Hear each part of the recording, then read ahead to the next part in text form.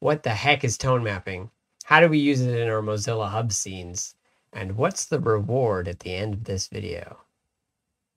This video was requested from a comment I got from Sage Freeman. And if you don't follow Sage Freeman on Twitter, you probably should. He's got a lot of really great tweets that are metaverse, web, VR, and XR related. So, what is tone mapping? Well, it has to do with three things how physical light is calculated, how our eyes perceive physical light, and the limitations of our display devices like monitors, projector screens, cell phones, this type of thing anything with a screen that displays pixels. So the way Blender and other 3D software calculates the light intensity is in a linear way, which means that if I have a power of 1000 watts and I double it to 2000 watts, it's going to be twice as bright. Now that makes sense, except for that's not actually how our eyes perceive light, and thus that's not how our display devices are optimized to display light our eyes actually give more importance to the middle of the curve, right? So our, our perception of what brightness is is nonlinear. Our display devices are extremely limited in the range of brightness that they can display.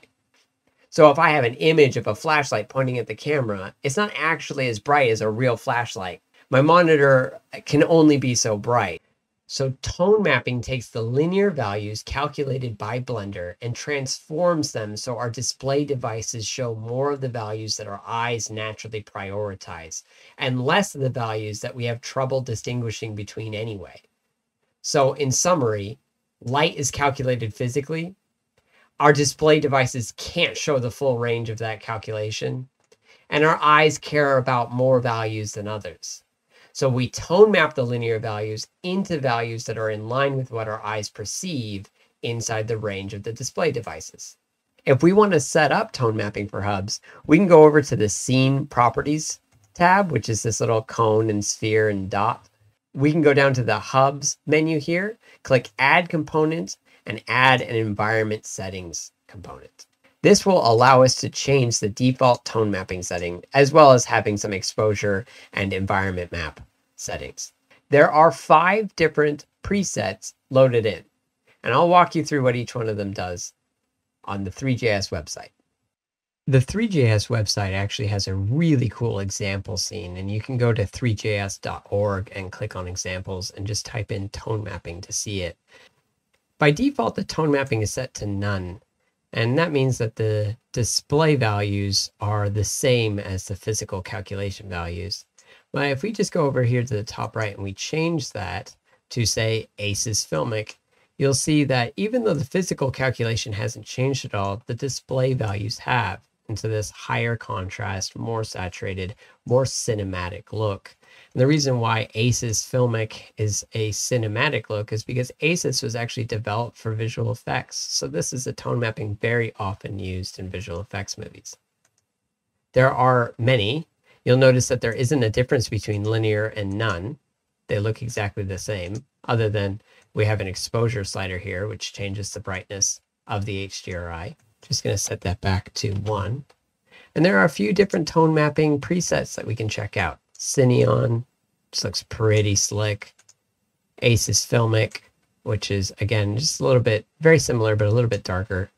And Reinhard, which I've never used before. I'm not exactly sure what it's good for.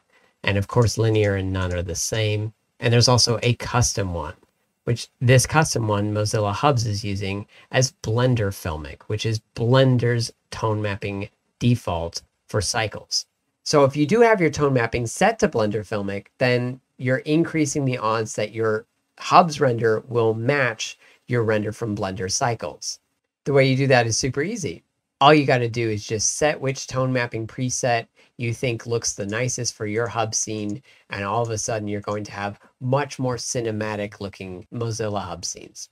You can also change the exposure, which is going to be the overall brightness, which you can see me demonstrate here right? You notice that these are 32-bit texture images. So as I decrease the exposure, we're actually revealing more of the data into the display space. If you'd like to know the difference between 8, 16, and 32-bit textures, drop me a comment. You know I'll make a video about it. However, I would caution you using the exposure slider as a way to change the overall lighting because it will affect all of your texture colors and any branding colors that you have in your scene. So it's often better just to increase the lighting intensity or decrease the lighting intensity to change those values and only use the exposure slider if you really need to fine tune and tweak it. It can create overly exposed or underexposed scenes just like your exposure does in photography. It should also be known that this video is sponsored by utopiavr.com. UtopiaVR.com has new products up and they have some pretty sweet subscription services.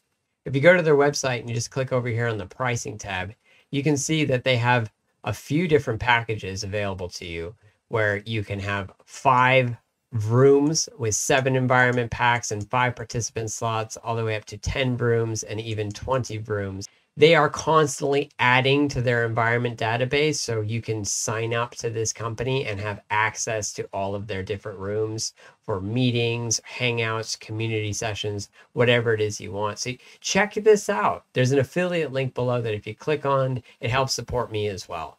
Thank you so much for watching this whole video. And as a reward here's some silly putty. I'm going to stretch in front of the camera Aren't you glad you stayed? Hold on, let me get this in focus.